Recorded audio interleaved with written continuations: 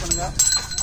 ஒவ்வொரு வீடியோ புது புது விஷயங்களை பற்றி தெரிஞ்சுக்கிட்டு இருக்கோம் அந்த வீடியோ எதை பற்றி தெரிவிப்போம் அப்படின்னு பார்த்துக்கிட்டீங்க அப்படின்னா நமது அல்சாதி பண்ணையிலிருந்து வளர்ப்புக்கான ஆடுகள் சண்டைக்கான ஆடுகள் குர்பானிக்கான ஆடுகள் மற்றும் அக்கிக்காவிற்கான ஆடுகள் அனைத்தும் உங்கள் தேவைக்கேற்ப தமிழகம் முழுவதும் டெலிவரி செய்து கொண்டிருக்கின்றோம். ஒரு சின்ன இடைவெளிக்கு அப்புறம் வந்து நம்ம வீடியோ போஸ்ட் பண்ணுறோம் போஸ்ட் பண்ணக்கூடிய ஒரு கட்டாயத்தில் இருந்துகிட்டு இருக்கோம். போஸ்ட் பண்ண வேண்டிய ஒரு காலகட்டத்தில் இருந்துகிட்டு அது என்னென்னு பார்த்துக்கிட்டீங்க அப்படின்னா நிறைய சப்ஸ்கிரைபர்ஸ் அண்ட் வியூவர்ஸ் மோஸ்ட்லி சொல்ல வேண்டிய சொல்ல நம்மகிட்ட ரெக்வஸ்ட் பண்ணி கேட்கக்கூடியது வெயில் காலம் அதிகமாக இருக்கனால எங்கள் ஆடுக்கு வந்து உடம்புகளில் அங்கங்கே பொக்கலமாக வந்துடுது அந்த ஆட்டோட பின்பகுதி அந்த வாழை தூக்கி பார்த்தா அந்த இடத்துலையும் சின்ன சின்ன பொக்கலம் பொக்கலமாக இருக்குது இதுக்கு என்ன பண்ணலாம் அப்படின்னு சொல்லி கேட்குறாங்க பொதுவாக அது என்னென்னு பார்த்துக்கிட்டீங்க அப்படின்னா ஆடுகளுக்கு ஏற்படக்கூடிய அம்ம நோய் எப்படின்னு சொல்ல முடியும் அதாவது ஹீட்டுக்கு அது உடம்போட ஹீட் உடல் உஷ்ணத்தோட வெளிப்பாடு தான் அது. ஸோ அதுக்கு என்ன பண்ணலாம் அப்படின்னு பார்த்துக்கிட்டிங்க அப்படின்னா அதுக்கு சொல்யூஷன் வந்து நிறைய சொல்யூஷன் இருக்குது என்னன்னு பார்த்துக்கிட்டீங்க அப்படின்னா நீங்கள் ஆடுக்கு வந்து அடிக்கடி குளிப்பாட்டணும் நீச்சல் போடணும். நீச்சல் போட முடியலை அப்படிங்கக்கூடிய பட்சத்தில் வீட்டில் குளிப்பாட்டுங்க. இல்லாத பட்சத்தில் ஆடுகளுக்கு வந்து நம்ம சில பல விஷயங்கள் நம்ம பண்ண வேண்டியது இருக்குது என்னன்னு பார்த்துக்கிட்டீங்க அப்படின்னா நம்ம சோத்துக்கத்தால் அதிகமாக கொடுக்கலாம் இளநீர் கொடுக்கலாம் அதுக்கப்புறம் தயிர் இது கொடுக்கலாம். இதெல்லாம் வந்து உடல் உஷ்ணத்தை தவிர்க்கக்கூடியது அதாவது குறைக்கக்கூடியது.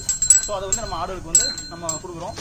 ஸோ இந்த வீடியோலேயே ஃபுல் அண்ட் ஃபுல்லாக தான் எக்ஸ்பிளைன் பண்ணுறோம் வெறும் வாய் வார்த்தைகள் சொல்லும்போது சிலருக்கு வந்து அது பிடிமானமாகாமல் இருக்குது ஸோ அதுவுமே உங்களுக்கு நல்ல ஒரு ஆணித்தரமாக இப்படி தான் பண்ணணும் அப்படிங்கக்கூடிய ஒரு ப்ராக்டிக்கலாக எக்ஸ்பிளனேஷன் பண்ணணும் அப்படிங்கிறத தான் ஒவ்வொரு விஷயம் நம்ம பார்த்து பண்ணிக்கிட்டு இருக்கோம். ஸோ நம்ம இப்போ அதை பண்ணோம். வாங்க பார்க்கலாம். அதாவது பொக்குளங்கள் எங்கெங்கெல்லாம் ஏற்படுது அப்படின்னு பார்த்தீங்க அப்படின்னா உடம்புல எங்கேயாச்சும் வரும். மேற்கொண்டு பார்த்தீங்க அப்படின்னா இந்த வாழை இப்படி தூக்கி பார்த்தீங்கன்னா இப்போ நம் நம்ம அடுக்கு இல்லை. ஆனால் இந்த இடங்களில் இந்த இந்த இடங்கள் இந்த இடங்கள் இந்த மாதிரி இடங்களில் வந்து பொக்குளங்கள் வரும். நம்ம ஆடுகளுக்கு அந்த மாதிரி எந்த பிரச்சனையும் கிடையாது. அதுக்கப்புறம் நீங்கள் என்ன பண்ணுறீங்க அப்படின்னு பார்த்தீங்க அப்படின்னா ஆடு கட்டியிருக்க கட்டுத்தரையில் மேலே வந்து கூரை அதாவது ஓலையை போட்டுட்டு அதுக்கு மேலே நீங்கள் ஷீட்டு போடுங்க. அப்படி போடும்போது அந்த ஸ்ட்ரெயிட்டாக சூரிய கதிர்கள் வந்து ஸ்ட்ரைட்டாக வந்து ஆடுகள் மேலே படாது. ஸோ அப்படிங்கும்போதும் உடம்பு வந்து கரெக்டாக இருக்கும். பாடி டெம்பரேச்சரும் கரெக்டாக இருக்கும். இல்லாத பட்சத்தில் நீங்கள் ஸ்ட்ரைட்டாக வெறுமனே தகரம் மட்டுமே போட்டுருந்தீங்க அப்படின்னா அது ஸ்ட்ரைட்டாக உங்களுக்கு வெக்கை உள்வாங்கி கொடுக்கறதுனால ஆடுகளுக்கு வந்து உடல் ஹீட் அதிகரிக்கும். ஸோ அதுவுமே வந்து ஆடுகளுக்கு நோய் ஏற்படுறதுக்கான ஒரு வாய்ப்பாக அமைஞ்சிருது. என்ன பண்ண போகிறோம் அப்படி பார்த்துக்கிட்டீங்க அப்படின்னா நல்ல இளநீ ஒன்று எடுத்துக்கிறோம். இளநீ ஆக்சுவலி வெயிலுக்கு சுட்ட தண்ணிக்காக நம்மளே குடிக்க தான் செய்வோம் ஸோ இந்த இளநியை தான் இப்போ நம்ம ஆடு கொடுக்க போகிறோம் இது உங்களுக்கு எக்ஸ்பிளைன் பண்ணுறதுக்காகவே அதாவது அதர் கண்ட்ரீஸில் முதல்ல நம்ம வீடியோஸ் பார்த்துட்டு இருக்கனால அவங்களுக்காக லைவாக நம்ம எக்ஸ்பிளைன் பண்ணணும் அப்படிங்கிறதுக்காக தான் நம்ம எல்லாத்துமே வந்து உங்களுக்கு லைவாக எக்ஸ்பிளைன் பண்ணுறோம் இளநீ எடுத்து இதை வந்து இப்போ நம்ம இளநியோட தண்ணியை நம்ம தனியாக எடுக்க போகிறோம் ஸோ எடுப்போம். இப்போது இளநியோட தண்ணியை தனியாக பாத்திரத்தில் பிடிக்கிறோம் என்னடா இது? ஆடுக்கு இளநீலாம் கொடுக்க சொல்கிறானே நம்மளே நமக்கு குடிக்க மாட்டோம் ஆடு கொடுக்கும் அப்படின்னு சொல்லி சிலர் நினைக்கலாம். ஒரு விஷயம் நல்லா தெரிஞ்சுக்கோங்க. ஒரு பொருள் உருப்படியாக வளர்க்கணும் அப்படிங்கக்கூடிய பட்சத்தில் அந்த பிராணிக்கு வந்து கண்டிப்பாக நம்ம தான் பண்ண வேண்டியது பண்ணி ஆகணும் ஏன்னா அது வாயிலா ஜீவன். ஸோ அதுக்கு எது தேவையாக இருந்தாலும் அதை நம்ம செலவில் பண்ணி தான் ஆகணும். இவ்வளோ இளநீர் கிடைச்சிருக்குது. இந்த இளநீர் தான் வந்து நம்ம ஆடு கொடுக்க போகிறோம் இது எப்படி கொடுக்கணும் அப்படின்னு சொல்லி காட்டுறேன்.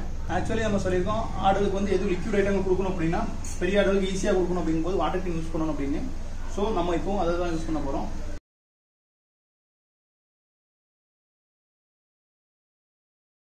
ஸோ இந்த இளநீரை வந்து நம்ம ஆடுக்கு கொடுக்க போகிறோம் கெடாக்கு கொடுக்க போகிறோம் இப்போ வந்து நம்ம என்ன பண்ண போகிறோம் அப்படின்னு பார்த்துக்கிட்டிங்க அப்படின்னா நம்ம வாட்டர் கேனில் பிடிச்சி வச்சிருக்க இளநியை ஆடுக்கு கொடுக்க போகிறோம் எதனால கொடுக்குறோம்னா அதோட உடல் உஷ்ணங்கள். இப்போ நம்ம ஆடுகளுக்கு பெருசாக இருந்தாலும் உங்கள் ஆடுகளுக்கு நீங்கள் அதை எப்படி கொடுக்கணும் அப்படிங்கிறக்காக உங்களுக்கு ப்ராக்டிக்கலாக உங்களுக்கு அதை பண்ணி காட்டுறேன்.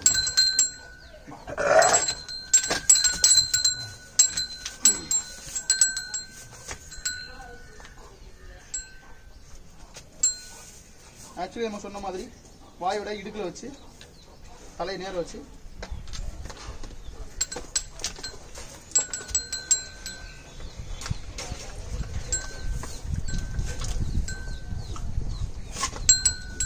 முழு இளநியும் ஆடு கொடுத்துட்டோம். இது ஆட்டோட ஹீட்டை உடல் ஹீட்டை தவிர்த்துரும் அடுத்து ஒரு எளிய முறை இருக்கு. அது என்னன்னு பார்த்துக்கிட்டீங்க அப்படின்னா சாதாரணமாக பத்து ரூபா தயிர் பாக்கெட் கடைகளே கிடைக்கும். ஸோ தயிர்களையுமே கொடுக்கலாம்.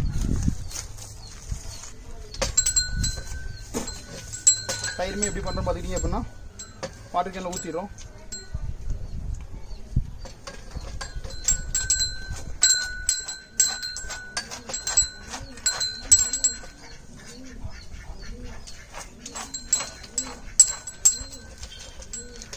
சிலவங்க என்ன பண்ணுவாங்க அப்படின்னா இந்த தயிரை வந்து ஐஸ் கட்டி போட்டு அடித்து அதுக்கப்புறம் அது ஆடு கொடுப்பாங்க. அப்படியுமே பண்ணலாம். இப்போ நம்ம ஃப்ரிட்ஜ் இல்லாதவங்கெல்லாம் நிறைய பேர் ஆடு வளர்க்குறாங்க. ஸோ அவங்களும் இதை பண்ணணும் அப்படிங்கிறதுக்காகவே நம்ம இதை வந்து உங்களுக்கு ப்ராக்டிக்கலாக பண்ணுறோம் தயிர் பாக்கெட்டு முழுசாக இதில் எடுத்துக்கிறோம் இதில் என்ன பண்ண போகிறோம் அப்படின்னா தயிர் வந்து கட்டியாக இருக்கிறதுனால அதில் லைட்டாக கொஞ்சம் தண்ணி மிக்ஸ் பண்ண போகிறோம் தயிர் மிக்ஸ் நல்லா குளிக்கிட்டோம். இது வந்து ரெண்டே ஒரே ஆடு கொடுக்க வேண்டாம் அப்படிங்கிறதுக்காக நம்ம பண்ணையில் இன்னொரு ஆடு கொடுக்குறோம். ஸோ இப்போ இந்த ஆடுக்கு வந்து நம்ம தயிர் கொடுக்க போகிறோம்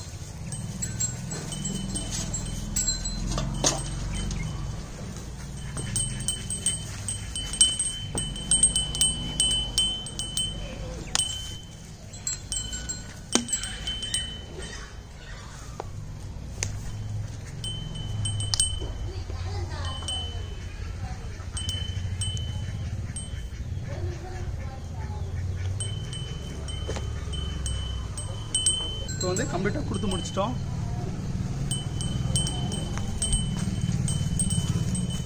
பொதுவாகவே இந்த வெயில் நேரங்களில் ஆடுகளாக இருந்தாலும் சரி கோழிகளாக இருந்தாலும் சரி மாடுகளாக இருந்தாலும் சரி அதோட உடல்நிலை வந்து ஹீட்டு மாற்றத்தினால ஏதாச்சும் செஞ்சுட்டே தான் இருக்கும். ஸோ எந்த ஒரு விஷயமும் நடக்கிறதுக்கு முன்கூட்டியே நம்ம பிராணிகளை பாதுகாத்துக்க ரொம்ப ரொம்ப நல்லது. ஸோ அந்த பாதுகாத்துக்கான ஒரு அவேர்னஸ் வீடியோ தான் இது.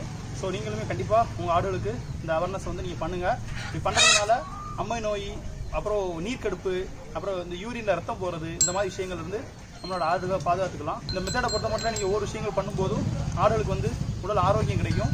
இந்த வெயிலேருந்து பாதுகாத்துக்கணும் நம்மளாலே முடியல. நம்மளால் நிறைய அலைச்சல் அலைச்சலாக இருக்கும்போது ஒவ்வொரு ஆளுக்கும் உடல்நிலையில் வந்து ஒவ்வொரு பிரச்சனைகள் ஏற்பட்டு இருக்கு. ஸோ பிராணிகளுக்கு வாயை திறந்து சொல்ல தெரியாது. ஸோ எந்த ஒரு பிரச்சனை ஏற்படுறதுக்கு முன்னாடி நம்ம தான் அதுகளை பாதுகாத்துக்கணும். ஸோ வீடியோ வாட்ச் பண்ண மாதிரி கண்டிப்பாக எல்லாத்தையும் ஃபாலோ பண்ணுங்கள் உங்கள் பிராணிகளை நல்லபடியாக பாதுகாத்துக்கணும். எங்களுடைய எல்லா வீடியோஸ் மாதிரி இந்த வீடியோஸ் உங்களுக்கு ரொம்ப யூஸ்ஃபுல்லாக இருக்கும்னு நினைக்கிறேன். மேலும் எங்களுடைய வீடியோஸ் உங்களுக்கு தொடர்ந்து கிடைக்க அல்சாஜிஃபாம் யூடியூப் சேனல் சப்ஸ்கிரைப் பண்ணுங்கள் மறக்காம பெல் சிம்பிள் கிளிக் பண்ணுங்கள் நன்றி.